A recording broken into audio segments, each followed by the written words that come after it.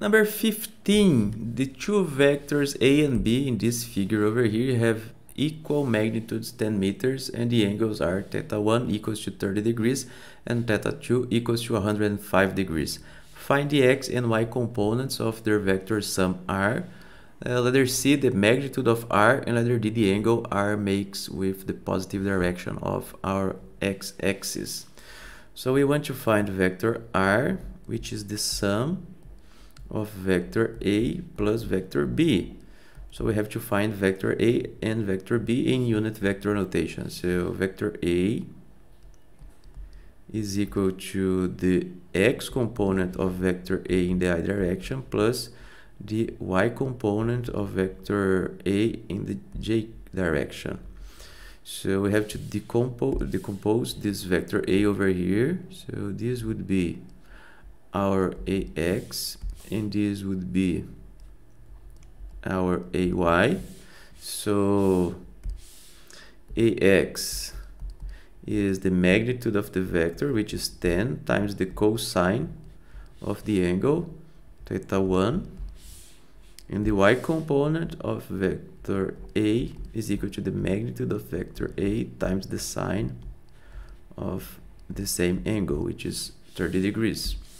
So our vector A is equal to the magnitude of vector A times the cosine of the angle in the i direction plus the magnitude of vector A times the sine of the angle in the j direction. So this is our vector A. So you can replace if you want the letters by the numbers and then you can find the vector. So this is, we are going to replace by the numbers uh, only in the, the final answer. So this is our vector A. Our vector B, we are going to do the same process, but you have to notice, let's write this this way over here.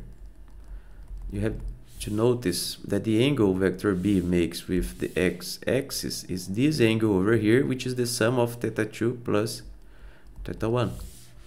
So vector B is going to be the magnitude of vector B times the cosine of theta 1 plus theta 2 in the i direction plus the magnitude of vector b times the sine of theta 1 plus theta 2 in the j direction. So this is our vector A and this is our vector B. So what we have to do here is to sum both vectors. So vector R is, is equal to the magnitude of vector A times the cosine of theta 1 plus the magnitude of vector b times the cosine of theta 1 plus theta 2 and this is in the i direction plus the magnitude of vector a times the sine of theta 1 plus the magnitude of vector b times the sine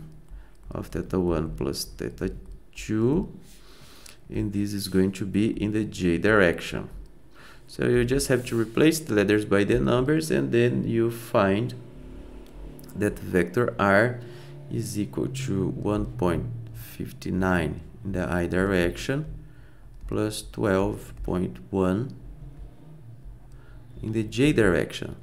And it is in meters right? In meters so this is our vector r so the x component of our vector is 1.59 meters and the y component is equal to 12.1 meters. So this is the answer of letter A and the answer of letter B.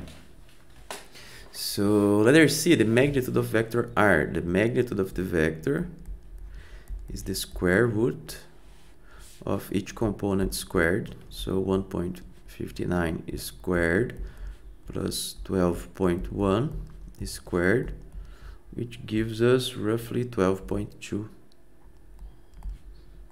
meters. So this is the answer of letter C. For letter D we want the angle.